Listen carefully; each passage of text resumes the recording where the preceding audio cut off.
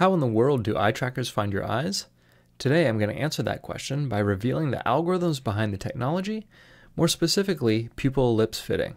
I'll talk about each step of the process and show specific examples of each algorithm in action. So, where do we start?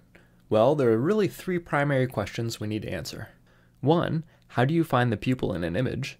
Two, once found, how do you accurately determine its shape?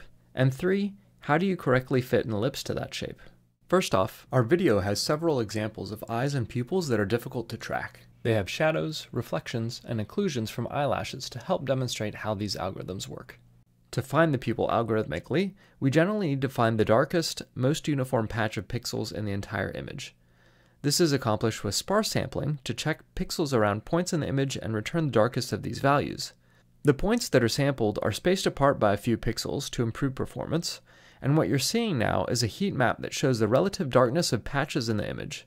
Redder means darker, and the final darkest point is highlighted by a large red dot. Now that we have a point on the pupil, the more challenging step is to accurately determine the pupil contour. Because of reflections or occlusions, this is still generally a difficult problem that researchers are still trying to solve today. Most algorithms start with something called binary thresholding, which converts dark pixels below a threshold to one value and lighter pixels above that threshold to a different value, typically 0 or 1. However, as you can see here, the pupil region is not often uniform due to changing angle or lighting conditions, and you end up with only a small part of the pupil or inclusion of other things like eyelashes or the rims of glasses.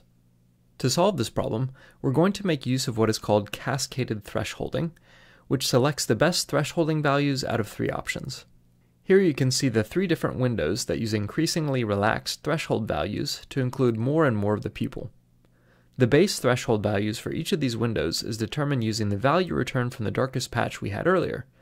But how do we determine which of these is best? To do this, we first need to determine which pupil most resembles an ellipse. The next view shows what happens if we fit an ellipse to each of these binary images and overlay that ellipse back onto the original eye image.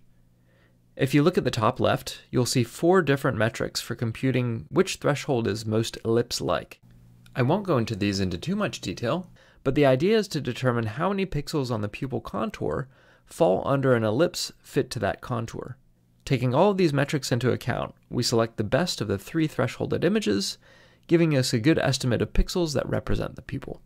But now we have to figure out which of the contour pixels are actually part of the pupil ellipse, which is no easy feat.